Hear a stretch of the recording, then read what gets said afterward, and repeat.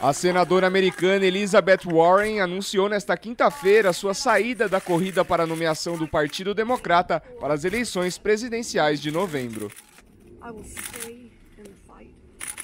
A política prometeu continuar envolvida no pleito e tomou a decisão depois do fraco desempenho na chamada Super Terça, em que diversos estados foram às urnas.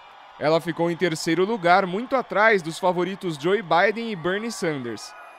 Ela ainda não anunciou apoio a nenhum candidato.